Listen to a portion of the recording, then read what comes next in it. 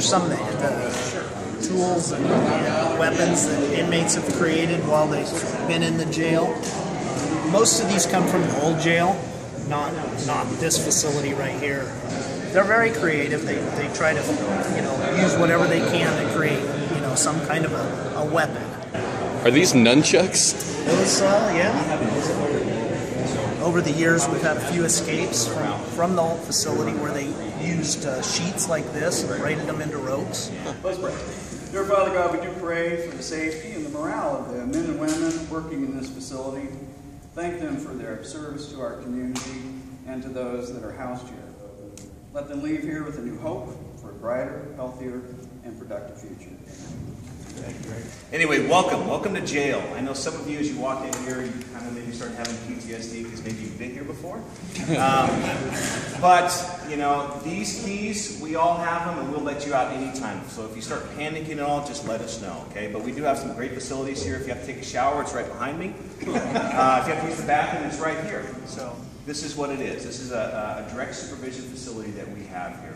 What your preconceived notion of jail might have been before you got here, we hope to kind of disrupt that a little bit. This is what it is here. This is general population. This is up to 75 inmates in this facility, and we have one correctional officer that manages 75 inmates. You know, on the street, we have a lot of different weapons and everything like that to, to gain compliance.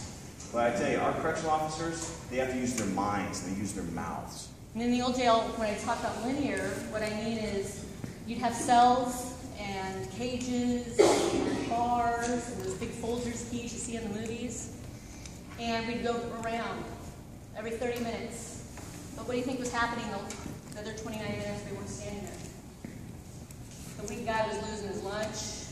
People were being assaulted. And by the time you come back around after 30 minutes, they're all sitting there playing cards, getting along.